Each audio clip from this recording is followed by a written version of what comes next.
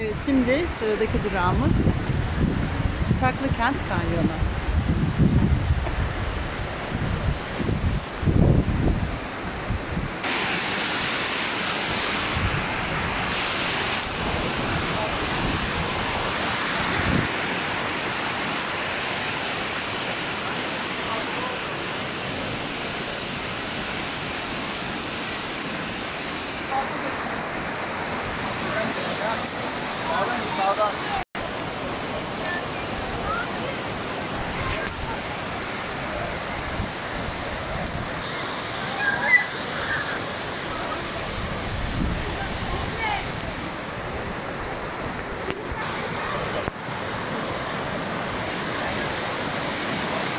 Evet Saklıkent'ten şimdilik bu kadar. Tekrar görüşmek üzere. Bizi takipte kalın.